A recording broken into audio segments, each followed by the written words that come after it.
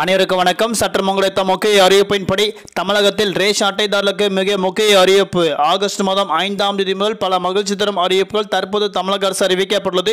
அதன்படி ரேஷன் கடைகளில் என்ன புதிய திட்டம் அமல்படுத்த போகிறாங்க என்ன மகிழ்ச்சி தரும் செய்திகள். இளமையை இப்போ நம்ம பிரீஃபாக பார்க்கலாம். மறக்காம ஸ்கிப் பாருங்க. உங்களுக்கு ரேஷன் கார்டு விதிமுறைகள் பற்றி பல முக்கிய அறிவிப்புகள் உடனுக்குடன் துல்லியமாக தெரிந்து கொள்ள நம்மளோட சேனலை கீழே இருக்க இருக்க பட்டனை கிளிக் பண்ணி சப்ஸ்கிரைப் பண்ணிக்கோங்க. பார்த்துற பெல் பட்டனை கிளிக் பண்ணிக்கோங்க. இந்த வீடியோ உங்களுக்கு பிடிச்சிருந்தா லைக் பண்ணுங்க. இப்போ வாங்க வீடியோக்குள் போகலாம். இப்போ ரீசெண்டாக ரேஷன் கடை வாயிலாக தமிழக மக்களுக்கு பல்வேறு புதிய திட்டங்கள் பல மகிழ்ச்சி தரும் செய்திகள் கொடுக்கப்பட்டு வராங்க. அதன் அடிப்படையில் ஜூன் மற்றும் ஜூலை மாதங்களில் பாமாயில் மற்றும் தோரம்பருப்பு வாங்காத நபர்கள் வரக்கூடிய ஆகஸ்ட் மாதம் முதல் பெற்றுக்கொள்ளாம்னு அறிவிக்கப்பட்டாங்க.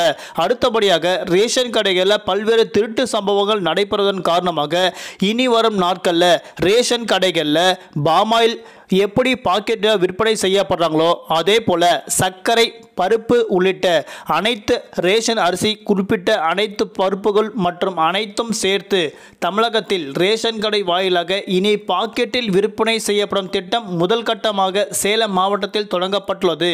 அதன்படி இனி வரும் மாதங்களில் தமிழகத்தில் உள்ள இருநூத்தி முப்பத்தி நாலு தொகுதியில் உள்ள அனைத்து ரேஷன் கடைகளில் இந்த திட்டம் விரிவுபடுத்தப்படும் தற்போது மகிழ்ச்சி தரும் அறிவிப்புகள் கொடுக்கப்பட்டனர் அதன்படி உங்களோட ரேஷன் அட்டைக்கு ஏற்றவாறு நீங்கள் அரிசி பருப்பு சர்க்கரை உள்ளிட்ட அனைத்து பொருட்களும் பாக்கெட்டில் பெற்றுக்கொள்ளாம்னு அறிவிக்கப்பட்டாங்க. அதே போன்று தரம் குறைவாக இருக்கக்கூடாது என்பதற்காக தற்போது இந்த திட்டம் கொண்டு வரப்பட்டதாக ரேஷன் கடைகளுக்கு முக்கிய அறிவிப்பு ஒன்று கொடுக்கப்பட்டாங்க. புதிதாக ரேஷன் அட்டை விண்ணப்பித்த நபர்கள் இந்த மாதம் முதல் பெற்றுக்கொள்ளாம்னு அறிவிக்கப்பட்டனர். ரேஷன் கார்டு பெற்ற பிறகு அவர்கள் மகளிர் உரிமை தொகை ரூபாய் ஆயிரம் பெற தகுதியான நபர்களாக இருந்தால் உடனடியாக விண்ணப்பித்து அடுத்த மாதம் அதாவது ஆகஸ்ட் மாதம் பெற்ற நபர்கள் அடுத்த மாதம் செப்டம்பர் மாதங்களில் நீங்கள் ரூபாய் ஆயிரம் வரக்கூடிய செப்டம்பர் மாதம் பாஞ்சாம் தேதி முதல் பெற்றுக்கொள்ளாமல் அறிவிக்கப்பட்டாங்க.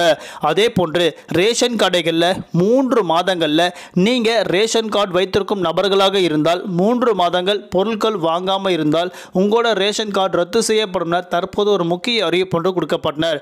இந்த ரேஷன் கார்டு ரத்து செய்யப்பட்ட பிறகு புதிய ரேஷன் கார்டு விண்ணப்பித்த நபர்கள் அவர்களுக்கு இந்த இடங்கள் பூர்த்தி செய்யப்படும் அறிவிக்கப்பட்டாங்க. அதன்படி அனைத்து மாதங்களிலும் கண்டிப்பாக உங்களோட ரேஷன் கார்டு வைத்து நீங்கள் அனைத்து பொருட்களும் பெற்றுக்கொள்ள வேண்டும்னு அறிவிக்கப்பட்டாங்க.